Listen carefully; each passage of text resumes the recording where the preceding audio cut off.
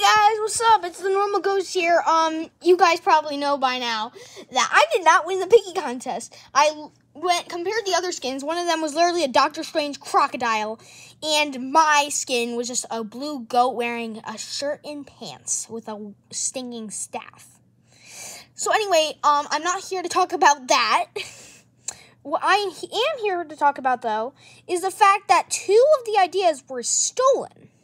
Like okay, I'll get into it. So first, we had the first place winner. This one's a little more commonly noticed. Um, so basically, what he did was he did a tweet after everybody noticed that he took a model from a willow that I really like because he thought that he had no chance of winning the piggy contest. At least have your little hope for yourself, dude. Like, try your best, dude. It doesn't matter if you win or not. It's fun. Um.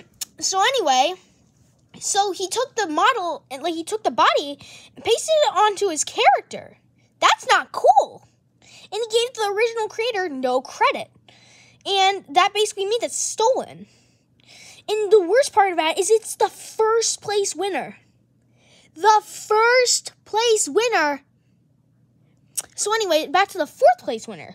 A lot of people hate on the skin because they hate its design. That is not the problem. I actually think the design is pretty good. It's the fact that the design is kind of stolen. So for anybody who plays Adopt you probably know what the Glyptodon is. It's a it's a Pokemon. Oh my god, I said Pokemon. What am I thinking? Um, it's a dinosaur from the fossil egg. It's an uncommon, and if you didn't know, it's kind of like the same creature as the skin in the first place. But the thing is, if you actually if you actually see the picture, you can see that both the shell and the tail are literally just reskins of the Glyptodon's thing. They literally have the same color. They just have t- different textures. And that is not cool. They didn't give Me any credit. And unlike the last one, I think a lot more people play Adopt Me. 127 people play Adopt Me every day. Yeah, I don't think 127,000 people are going to be very happy about that.